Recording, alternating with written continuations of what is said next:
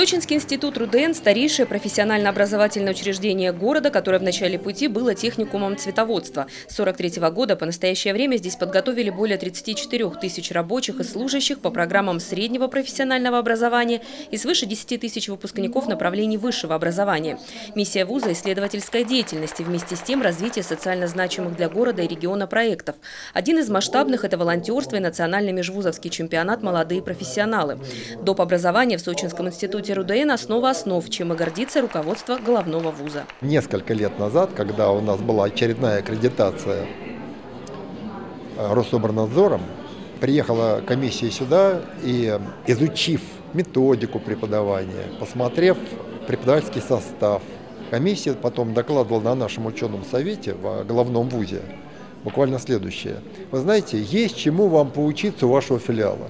К слову, Сочинский институт – единственный филиал РУДН, остальные 14 закрыты. На сегодняшний день здесь обучаются 3254 студента. Это представители различных национальностей и культур, молодые ученые, волонтеры, спортсмены, победители, призеры и лауреаты различных чемпионатов, олимпиад, конкурсов, научно-практических конференций. В Сочи нет ни одной отрасли, в которой не трудились бы выпускники института, подчеркивают власти курорта. Практически все программы, которые по городу Сочи имеем, они проходят экспертизу через общественное мнение нашего города.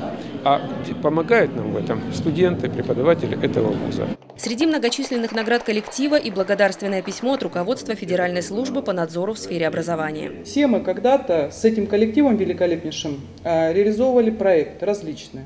От международных олимпиад, Всемирная олимпиада по робототехнике, масса различных фестивалей, форумов различного уровня. Для коллектива Сочинского института нет нерешаемых задач. Это коллектив, который умеет работать 24 на 7. В честь юбилея сегодня состоялся и студенческий Open Air. Под открытым небом ребята организовали большой праздник дружбы, на котором выступили национальные коллективы города. Галина Моисеева, Инга Габеша, Михаил Дубинин, телекомпания ВКТ.